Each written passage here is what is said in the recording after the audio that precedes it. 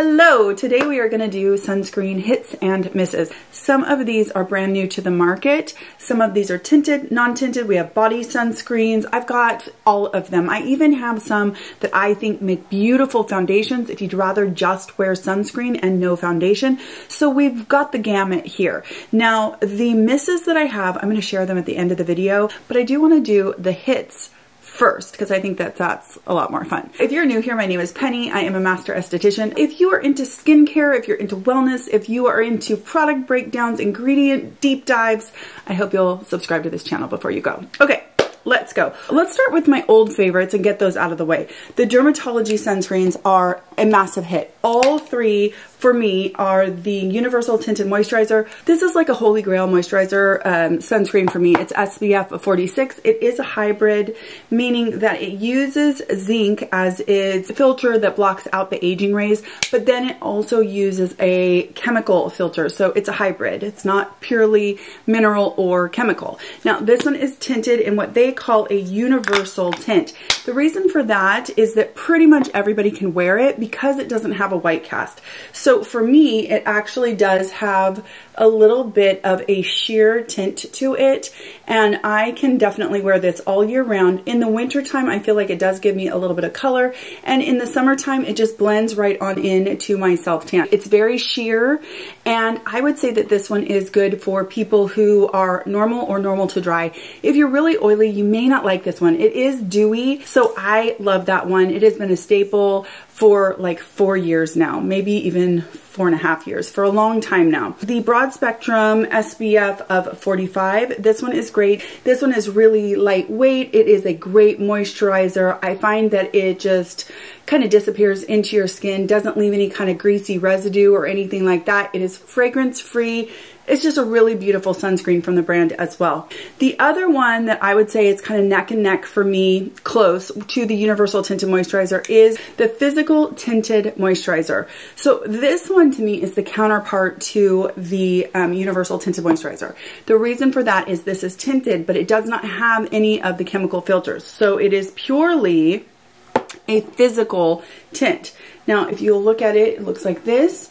It is also universal as far as it does not have any kind of a white cast, so a lot of people can get away with this. I would say that if you are lighter than like a an NC15, if you're very pale, this would probably look a little bit orange on you. Same with the Universal Tinted Moisturizer. They are beautiful, but on really pale skin, I definitely think they're a little bit too dark. Next up, we're going to talk about the Neova. This is the Silc Sheer 2.0. I've been talking about this one for years now because this brand makes DNA repair enzyme products. And what they've done is they've done a sunscreen that has DNA repair products in it. I will link in the description box my videos on DNA repair, but it's really one of those kind of cornerstones to well aging as far as our skin is concerned. It can help with hyperpigmentation, it can help with skin cancer prevention, and it's just a really, really nice addition into an SPF. So if you're not familiar with what DNA repair enzymes are, you definitely should look into them, and I think it is fantastic fantastic to see it in a sunscreen. This one is tinted, but it's really, really faintly tinted with almost like a yellowy peach color and really all that does is it makes it not have a white cast. Now this one is broad spectrum SPF of 40, zinc, and titanium dioxide with 3% octinoxate. So this is also a hybrid and I find that one to be a little bit more matte. It's not matte, but it is not dewy like the Universal Tinted Moisturizer. It leaves behind a really beautiful skin-like finish with zero cast whatsoever. But I think that the real kind of shining star of the Neova Silc Sheer is that it has the DNA repair enzymes. So if you are someone who um, maybe you've had past skin cancers, then you might want to look into a sunscreen that has DNA repair enzymes in them. And this one is definitely leaps and bounds my favorite of any brand that I've tried. Their sunscreen, this is my favorite with DNA repair. Those are all of my like tried and true. You guys have heard me talk about them many, many times. Each and every one of those have been favorites for years now and nothing has knocked them off of their ledge. Like if I had to choose, I would reach for one of them every single time. Okay, moving along. Alastin. Alastin Mineral Tint is glorious. This is one of the best ever made tinted sunscreens. This one definitely could, um, it, it, could be a foundation. This one is titanium dioxide and it's zinc oxide and it is an SPF of 36. It actually has quite a bit of pigment in it. So you really do need to use a decent amount in order to get the SPF of 36 and because it's got a lot of pigment in it, for me, this is one of those sunscreens that I layer. I might use this one after I've put on my Dermatology Universal Tinted Moisturizer. This might be my foundation, and I am telling you, it makes for an absolutely gorgeous foundation. It looks like this. I would say it's like a medium kind of golden shade. And when I'm self-tanned, I can wear this no problem. It's probably an NC30. My, where I used to work, the clinic where I used to work, the doctor there, she carries Alastin and that's how I was originally introduced to this. I have had this in back bar size because I love it so much. I've got everybody in my family is hooked on this as their foundation. I mean, it is so beautiful. Now, the way that I wear this, like I said, is I will wear it over another sunscreen so that I don't have to use so much that I look like because it's got a lot of, a lot of pigment to it. I will make sure to put in the description box next to each and every one of these, whether they're mineral or if they are a hybrid or if they are all chemical filters, etc. I'll put all the details right next to it so you don't have to remember all of this. So when you're looking through the links in the description box and in the in a pinned comment that you'll have the information kind of succinctly in front of you.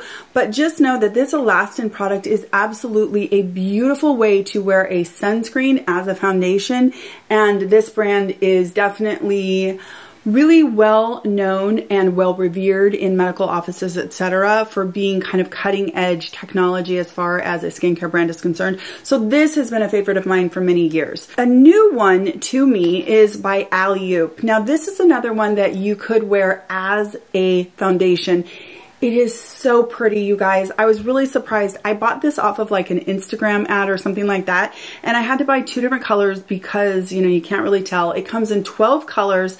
It is something that you could wear, like I said, as a foundation. It comes in a squeezy tube with kind of like a pointy little applicator, which I really like because I just put some stripes on my face and then I blend it around with my fingers and then I take a beauty blender and I bounce it all over.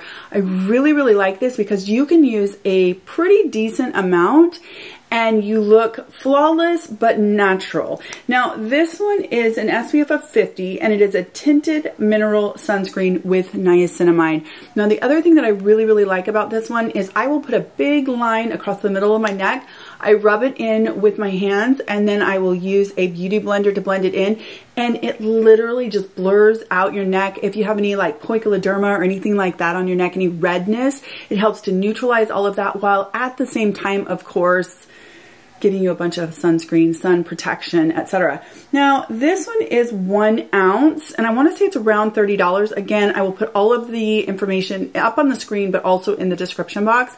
So this one is a little bit more expensive. I think what I like about this is it is truly a sunscreen that you could wear as your sunscreen and as your foundation. Like, you can use a bunch of it and it still looks beautiful and natural and doesn't look cakey or like you're wearing a ton of makeup or anything like that.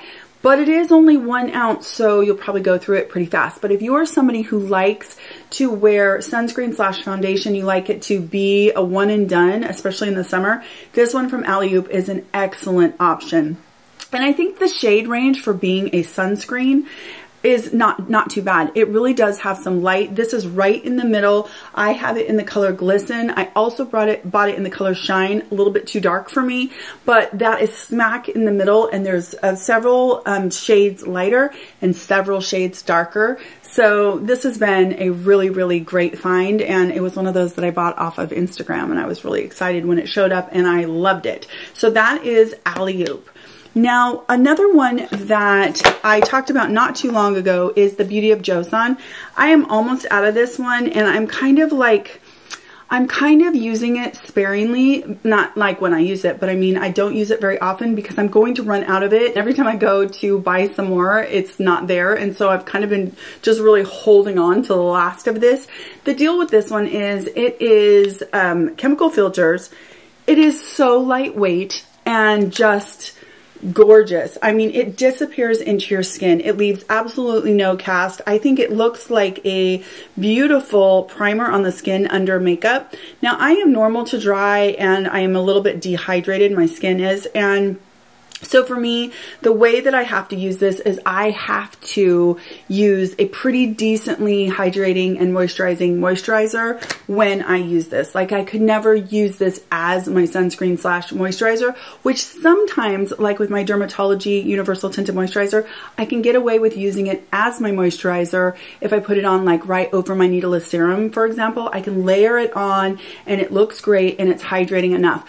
This one, as a dry skin person, definitely requires a moisturizer that's got quite a bit of moisture for this to work, but it does. When I do that combination, I absolutely love it. So the way that I usually use this is I will use my Soothe and Recovery Cream from Dermatology as my moisturizer, which is pretty, that packs a punch of moisture. In fact, I usually use that as my last step at night to kind of lock in everything that I've done and make sure I'm trapping all the water in my skin and all of that stuff. When I use this sunscreen, I use that as my moisturizer and it's a beautiful, beautiful pair. So if you are somebody who's normal and combo or normal to oily, so good. So pay attention to when this comes back in stock and it is just a beautiful, it's also really, really great for men. My husband loves this. Anytime I hand him this tube, he recognizes it and he's like, oh yeah, that's a good one. Whenever, you know, we're going out, we're going to be out in the sun and stuff and he asks for a sunscreen, this is the one that I know he will love and use and not feel like it's like heavy moisturizer, doesn't want tinted, you know, all of that stuff. So that is the beauty of Joseon. That is another big hit. Okay, we're going to talk about Kopari. They came out with their Rose Gold Sun Shield Body Glow SPF of 45. Now I have this last year in the original color. This one is the rose gold. I had to buy it as soon as they came out with it. This is gorgeousness. Now I will tell you that I typically use a sunscreen on my body first and then this is almost like a, a, sunscreen topper. I might put this on shoulders, arms, maybe the front of my thighs, maybe across my collarbone. I don't really rely on this to be all of my sun protection. It is so beautiful that I just love the fact that I get kind of a shimmering body product that has a bunch of SPF in it. Now the rose gold color you guys is just beautiful. It comes out and it's very very sheer. It just leaves this really sheer luminosity and like I said it's just stinking beautiful. Let's see if we can do this without in the sunshine, it just glistens and leaves your skin looking so moisturized, hydrated. It looks glistening. It's just beautiful. And like I said, it is an SPF of 45. It is chemical filters and it spreads beautifully. It does have a coconut smell to it. So if you don't like that, it's almost like a coconut suntan smell. If you don't like this, you would not like that from Kopari. A lot of their products are kind of coconut scented, but I know that last year with the original color, I used it all summer long. And again, I used it as a sunscreen topper. So it was the way to get that kind of glistening look without, you know, sacrificing more sun protection because I love to layer on sun protection in the summertime. It also reapplies really beautifully and it's huge. It is five fluid ounces it's tough to go through this in a summer because you just don't need a ton. And if you use it as a sunscreen topper, then you don't need to use a ton of it to get that look and just a little added sunscreen protection. So that is the Kopari Rose Gold Sun Shield Body Glow SPF of 45. Let's talk about the misses. Um, first of all, these, I, I know I'm going to get some people that are going to be like, that's my favorite. So everything is obviously personal preference. So if one of my misses is something that you love, that's okay because we're all gonna like different things. And feel free to leave in the comment section a review. If one of these is your favorite, leave a review. Let everyone know that you love it so that people get kind of a balanced approach. Conversely, go ahead and leave if some of my hits don't work for you. Why? Maybe if you could make it constructive, that would be fantastic so that people get a little bit more of a complex review from all of us. That would be wonderful because of course, everything is super personal. Okay, we're gonna start off with a big one and that is the Sunbetter Advanced Mineral Protection SPF 75 from Skinbetter Sciences. This one is so popular and I see so many people talking about people that I totally respect, people that I think are just amazing. This just does not work for me. First of all, it's super expensive. Um, let's see. Okay, this one is 1.7 ounces and it's $75. So I bought this. I bought this and another one of their products. In fact, I'm going to buy a couple more Skinbetter Sciences products because I've been asked so many times to review their stuff. So it's a brand that is definitely on my radar and on my list. This is, first of all, I feel like it's a little bit unremarkable. I'm sorry to say that, but I do. Second of all, it is really thick and I feel like it kind of sits on top of the skin and it's, I don't know, I just, I just don't love it. Like I'm still rubbing it in and it's still shiny and I feel like it stays, like it just makes this sort of film on the top of my skin and I don't know, I just don't love it. I love the fact that it's an SPF of 75. 1.7 ounces is great. The tint is good for not being, you know, no, having no white cast. I think the packaging is really, really chic. I love that it has a pump. It's an airtight package, so you're likely to get all the product out of it. But like right now, it is still shiny, almost greasy on my hand. And we've been, you know, I've been talking for a little while. And I feel like it just sort of stays like that. And if I want to wear it under makeup, I just sort of feel greasy and like heavy all day long. So this one was definitely a miss for me. I know some of you really, really love this one. Like I said, the SPF 75 is awesome. That's really great. But my goodness, the amount that you need to use in order to get that SPF 75, I cannot even imagine how that would feel on the skin. Because that one pump on the back of my hand is still shiny and still feels heavy on the back of my hand, almost greasy. Like it's a trip and my hands are really dry, honestly. Okay, next is another one that I know people are going to say that they love that just did not work out for me. And it is the Iris and Romeo. This is the Weekend Skin. And honestly, it's a lot like the Sunbetter from this one. It's a lot like the Skinbetter Science Sunbetter. This is so thick and greasy almost. And if you used enough to actually get the SPF on the package, which is SPF of 50, and it does have vitamin C, and it's a broad spectrum, so it's zinc, and I'll put the ingredients, of course, up on the screen. But you guys, this is so heavy and kind of greasy. I don't know. I just didn't love it. And I know so many people love this one so much. But again, that's one little tiny pump and it feels heavy. It's greasy and it feels like it sits just kind of on the top of the skin.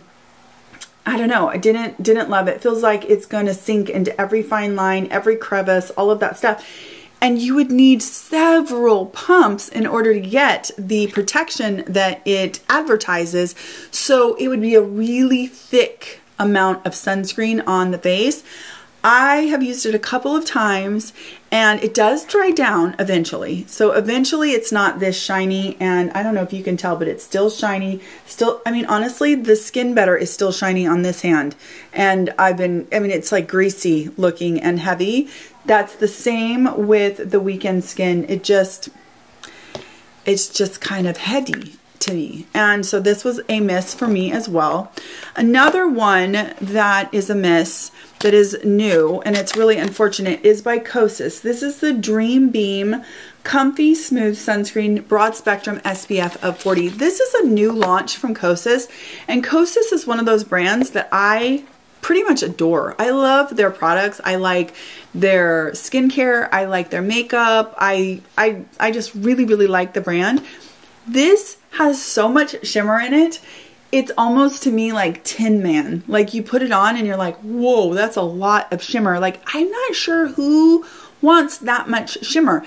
Now, maybe if you put it on and then you put your matte makeup over it, you might be able to get this kind of balance or something like that. But uh, it is way, way, I mean, it is, and they say it, they say DreamBeam, but hopefully you'll be able to see.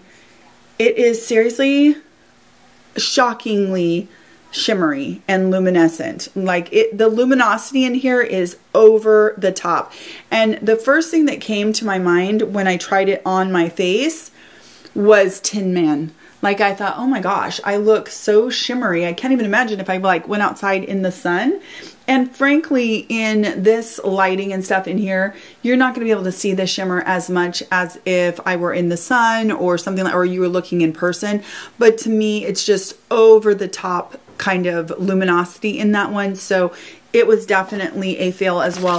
This one, I mean, maybe I will use it on my chest, on my collarbone area, on the tops of my shoulders as almost like a sunscreen highlighter. But clearly that's not what it's meant to be. It's meant to be a facial SPF. And there's, I just think on your whole entire face and your neck, too much shimmer, completely too much shimmer. Okay, those are all the misses that I have. So again, I'm gonna put down in the description box timestamps. I'm also gonna put every single product, link the products. Anytime I find a sale, I will always include codes and whatnot so that if anything interests you, you can get it at a discount. I will always do that in the description box anytime I talk about anything, check the description box. If a brand goes on sale and I find out if I get a code for us I will always update my description boxes to reflect that. So check there for sure. You can also go to my website, to pennsmithskincare.com. I have a current codes and all of that kind of um, blog post that I always update